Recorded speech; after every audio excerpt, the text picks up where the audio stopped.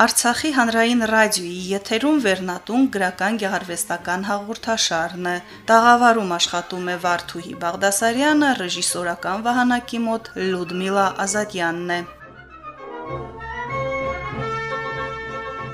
Բարեկամներ այսօր ծնվել է աշխարհահռչակ Անտուան դը Սենտ-Էքսուպերին եւ օրվա թողարկումը նվիրել ենք նրան, ով գրել է փոքրիկ իշխանը եւ ծանոթացրել փոքրիկ քայլերի մեծ արվեստին։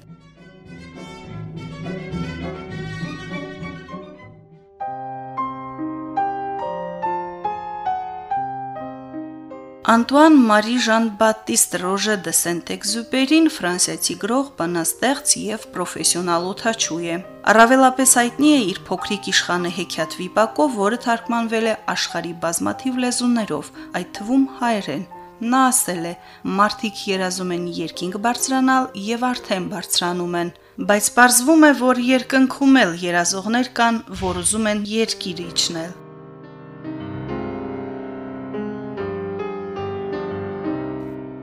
Անտուան դը Սենտ-Էքզյուպերին ծնվել է Ֆրանսիայի Լիոն քաղաքում։ Նա Վիկոնտ Ժան դը Սենտ-Էքզյուպերիի եւ Մարի դը Ֆոնկոլոմբի 5 երեխաներից երրորդն էր։ 4 տարեկան հասակում կորցրել է հորը։ Երեխաների դաստիարակությամբ զբաղվել է մայրը։ 1912 թվականին ամբերի ավիացիոն դաշտում առաջին անգամ ինքնաթիռով բարձրացել է օդ։ Նա կատարելագործել է իր գիտելիքները, բայց 1921 թվականին զորակոչվել է ֆրանսիական բանակ։ Չնայած ուներ տարկետման իրավունք, որ ստացել էր բուհ ընդունվելիս, Անտուան դը Սենտ-Էքզյուպերին մեկնել է բանակ, ընդգրկվելով Ստրասբուրգի կորցանիչ ավիացիայի երկրորդ գնդում։ Նրան նախ ուղարկում են վերանորոգման արհեստանոց, սակայն շուտով նրան հաջողվում է քաղաքացիական ինքնաթիռի օթաչուի քննություն հանձնել։ Հետո տեղափոխում են Մարոկկո, որտեղ ստանում է ռազմական ինքնաթիռ վարելու իրավունք, իսկ այնուհետև ուղարկվում է Իստր վերապատրաստվելու։ 1922 թվականին Անտուանը սովորում եւ ավարտում է պահեստի սպաների կուրսերը եւ դառնում կրտսեր լեյտենանտ։ Հոկտեմբերին ուղարկվում է Բուրժա, գտնվում է Փարիզի մերձակայքում ավիացիոն 34-րդ գունդ։ 1923 թվականի հունվարին ենթարկվում է ավիավթարի, նա ստանում է գանգուղեղային վնասվածք։ Էքզյուպերին բնակություն է հաստատում Փարիզում, որտեղ սկսում է զբաղվել գրականությամբ։ Սկզբնական շրջանում հաջողության չհասնելով, նա անցնում է շատ դժվարությունների միջով։ Լյուֆթվաֆեի օթաչուն ասել է, որ հենց ինքն է կործանել Անտուան դը Սենտ-Էքզյուպերիի ինքնաթիռը։ Նա ասել է. «Օթաչուին ես չեմ տեսել, ավելի ուշ իմացա, որ նա եղել է Սենտ-Էքզյուպերին»։ Այն մասին, որ խփված օթանավի օթաչուն Սենտ Էքզյուպերին էր, գերմանացիներին հայտնի էր դարձել այդ օրերին ռադիոէլեկտրոնային հետախուզությունից ֆրանսիական օթակայանների բանակցությունները լսելով։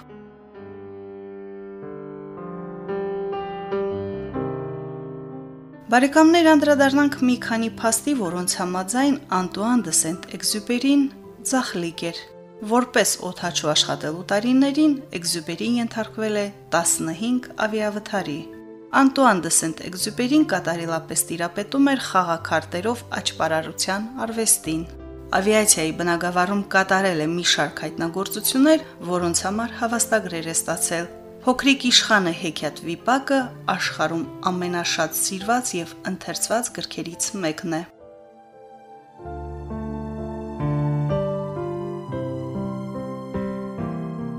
Վերնատունն է եթերում։ Շարունակում ենք թողարկումը։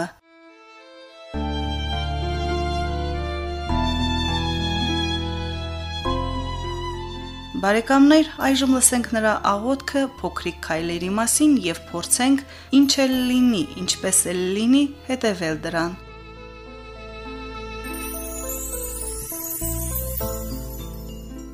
Աստված իմ, ես չեմ խնդրում հրաշքներ եւ տեսիլքներ, ես խնդրում եմ ուժ ամեն օրվա համար։ Սովորեցրու ինձ փոքրիկ քայլերի արվեստը, դարձրու ինձ հետևողական եւ պատրաստակամ, որ เป զի օրվա միապաղաղության մեջ ճիշտ ժամանակին կանգնեմ բացահայտումների եւ փորձի արչեւ, որոնք ինձ կհուզեն։ Սովորեցրու ինձ ճշգրիտ տնորինել իմ կյանքի ժամանակը, նվիրիր ինձ ներքին ձայն, որ เป զի առանձնացնեմ այն, ինչ պետք է անել առաջին եւ ապա երկրորդ հերթին։ Խնդրում եմ քեզանից չափավորություն եւ զսպվածություն, որ เป զի իմ կյանքի ընթացքում չթրջեմ եւ չսողամ, այլ կարողանամ ծրագրել իմ օրը օրվա ընթացքում, կարողանամ տեսնել բարձունքներն ու հերունները Օգնիր ինձ հասկանալ, որ երազանքները չեն կարող օգնել ոչ անցյալի եւ ոչ էլ ապագայի մասին երազանքները, օգներ ինձ լինել այստեղ եւ հիմա, ընդունել այս րոպեն որպես ամենակարևորն ու գլխավորը։ Պահպանիր ինձ այն միամիտ հավատից, որ այս կյանքում ամեն ինչ պետք է հարթ լինի։ Դուր ինձ հստակ գիտակցություն, որ դժվարությունները, ձախողումները, պարտությունները եւ անհաջողությունները կյանքի միայն բնական բաղադրիչ մասն են, որոնց շնորհիվ մենք հաճում ենք եւ հասունանում։ Հիշեցրու ինձ, որ հաճախ սիրտը վիճում է բանականության հետ, Անհրաժեշտ պահին ուղարկիր ինչ որ մեկին ինձ մոտ, ով քաջություն կունենա ասել ճշմարտությունը, բայց ասել այն սիրելով։ Ես գիտեմ, որ շատ խնդիրներ որոշվում են, երբ ոչինչ չես ձեռնարկում։ Այդ դեպքում դուր ինձ համբերություն։ Դու գիտես, թե մենք ինչքան շատ ենք զգում ընկերության կարիքը։ Թույլ տուր լինել արժանի ճակատագրի ամենահրաշալի եւ քնքուշ այդ նվերին դարձրու ինձ մարդ ունակ թակելու այն դռները, որոնք ամենաներքևում են։ Պահպանիր ինձ այն վախից, որ ես կարող եմ ինչ որ բան բաց թողնել իմ կյանքում։ Դուր ինձ ոչ թե այն, ինչ ես խնդրում եմ ինձ համար, այլև այն, ինչն իսկապես անհրաժեշտ է ինձ, եւ խնդրում եմ նորից, սովորեցրու ինձ փոքրիկ քայլերի արվեստը։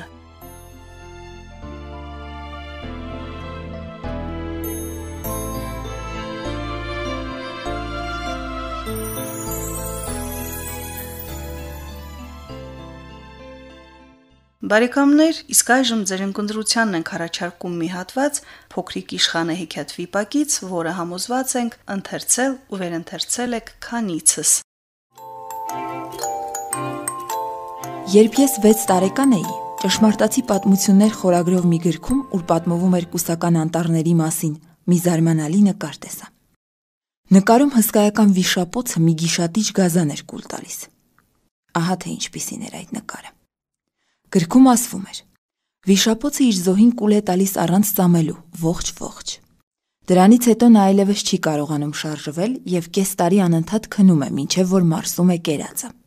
Ես շատ խորեցի ջունգլիների արկածներով լի կյանքի մասին եւ գունավոր մատիտներով նկարեցի իմ առաջին ստեղծագործությունը։ Դա իմ համար առաջին նկարն էր։ Ահա թե ինչպես էի նկարել։ Ես իմ առաջին ստեղծագործությունը ցույց տվեցի մեծահասակներին եւ հարցրի. Սարսափելի չէ արդյոք։ Միթե գլխարկը սարսափելի է։ Առարկեցին նրանք։ Իսկ դա ամենևին էլ գլխարկ չէր, այլ մի վիշապոց, որը փիղ էր կուլ տվել։ Ես վիշապոցը ստիպված նկարեցի ներսի կողմից, որպեսի մեծահասակներին հասկանալի լինի։ Ախր նրանց ամեն բան պետք է բացատրել։ Ահա իմ համար երկրորդ նկարը։ Մեծահասակներն ինձ խորհուրդ տվեցին օծ չնկարել ոչ դրսի եւ ոչ էլ ներսի կողմից այլ հետաքրքրվել աշխարհագրությամբ, պատմությամբ, թվաբանությամբ եւ ուղագրությամբ։ Ահա թե ինչպես պատահեց, որ ես 6 տարեկան հասակում հրաժարվեցի նկարչի փայլուն ապագայից։ Համար 1 եւ համար 2 նկարներով անհաջողության մատնվելուց հետո ես իմ նկատմամբ կորցրի հավատս։ Մեծահասակներն իրենք երբեք եւ ոչինչ չեն հասկանում, իսկ երեխաների համար շատ հոգնեցուցիչ է, երբ ստիպված են լինում ամեն ինչ նրանց բացատրել եւ գլուխները մտցնել։ Եվ այսպես ես ստիպված էի ուրիշ մասնագիտություն ընտրել եւ սովորեցի ինքնաթիռ վարել։ Ես ամբողջ աշխարհը գրեթե ման եմ եկել եւ ճիշտ որ ասեմ, աշխարհագրությունն ինձ շատ պետք եկավ։ Առաջին իսկ հայացքից կարողանում էի Չինաստանն ու Արիզոնը իրարից տարբերել, երբ գիշերները շեղվում ես ճանապարից, դա շատ կարևոր է իմանալ։ Իմ կյանքում ես շատ եմ հանդիպել զանազան լուրջ մարդկանց։ Մեծահասակների շրջանում ես շատ եմ ապրել։ Ես նրանց բոլորովին մոտիկից եմ տեսել, բայց այդ բանն ինձ ամենևին էլ չի ստիպել, որ նրանց մասին ավելի լավ կարծիք ունենամ։ Երբ հանդիպում էի մի որևէ մեծահասակի, որն ինձ մյուսներից ավելի հասկացող ու խելացի էր թվում, ես նրան ցույց էի տալիս իմ համար առաջին նկարը, որը միշտ մոտս էի պահում։ Ես ուզում էի իմանալ, թե այդ մարդը իսկապես մի բան հասկանում է,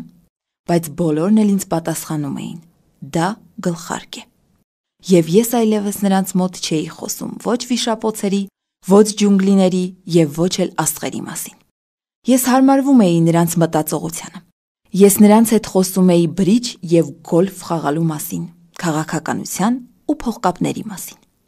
Եվ մեծահասակները շատ գոհ էին մնում, որ ծանոթացել են ինձ նման առողջ դատողության տեր մարդու հետ։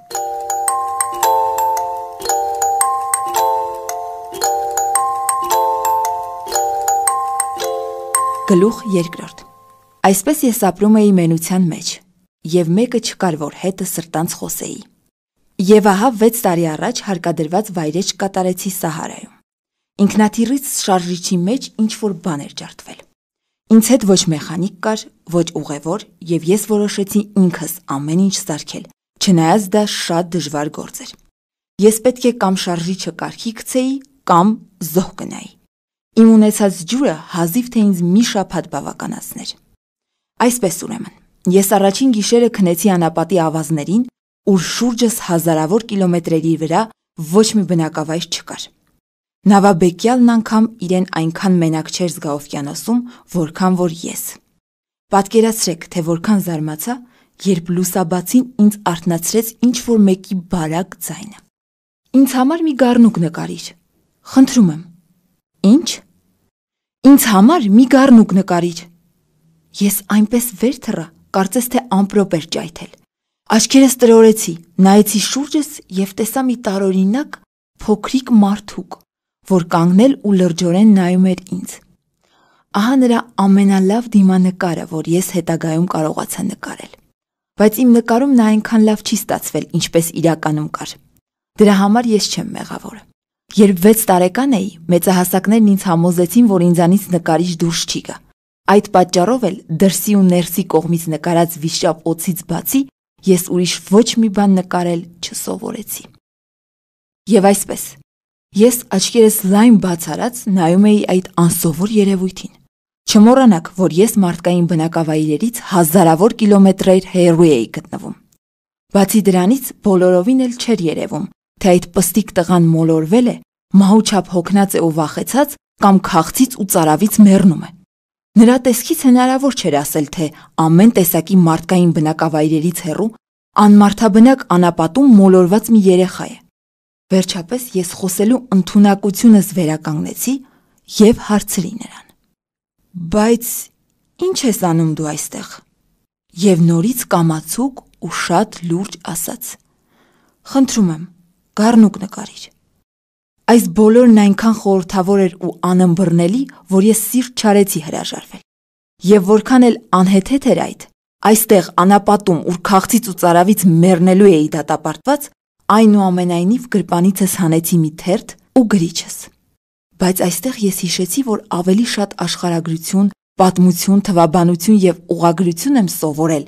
եւ ասացի տղային, նույնիսկ մի փոքր բարկացած որ նկարել չգիտեմ։ Նա պատասխանեց. Միևնույնն է, մի գառնուկ նկարիր։ Եվ քանի որ իմ կյանքում երբեք գառնուկ չէի նկարել, նրա համար կրկնեցի իմ մնացած հին նկարներից մեկը՝ վիշապոցը դրսի կողմից։ Եվ շատ զարմացա, երբ տղան բացականչեց. Ոչ, ոչ, ես փիղը վիշապոցի մեջ չեմ ուզում։ Վիշապոցը շատ վտանգավոր է, իսկ փիղը չափազանց մեծ։ Ինձ մոտ ամեն բան շատ փոքր է։ Ինձ գառնուկ է պետք։ Ինձ համար գառնուկ նկարիչ։ Եվ ես նկարեցի։ Նա ուրشادիր նայեց իմ նկարին ու ասաց. Չէ, այս գառնուկը շատ տկար է։ Մեկ ուրիշ է նկարիչ։ Ես նկարեցի։ Իմ նոր բարեկամը մեղմ ու ներողամիտ շփտաց։ Չէ որ դու ել ես տեսնում, ասաց նա, որ սա գառնուկ չէ։ Սա մեծ խո է, կոտոշներ ունի։ Ես նորից նկարեցի բայց նա այդ նկարից էլ հրաժարվեց։ Սա էլ արդեն պարավ ոչխար է։ Ինձ այնպիսի գառնուկ է պետք, որ երկար ապրի։ Այստեղ իմ համբերությունը հատավ։ Չէ որ ես պետք է որքան հնարավոր է շուտ կարգի գցեի շարժիչը եւ ահա թե ինչ խզմզեցի։ Ես ասացի տղային. Ահա քեզ մի արկղ, մեջը մի այնպիսի գառնուկ է նստած, ինչպիսին որ դու ուզում ես։ Որքան ես զարմացա, երբ իմ խստապահանջ դատավորը հանկարծ պայծառացավ։ Այ սա լավ է։ Ինչ ես կարծում։ Այս գառնուկին շատ խոտ է պետք։ Ինչու ես հարցնում։ Չէ որ ինձ մոտ ամեն բան փոքր է։ Սրան կբավականացնի։ Ես քեզ շատ փոքրիկ գառնուկ եմ տալիս։ Դե, այնքան էլ փոքր չէ։ Գլուխը խոնարելով ու նկարին նայելով ասաց նա։ Տես քնել է։ Այսպես ես ծանոթացա փոքրիկ իշխանի հետ։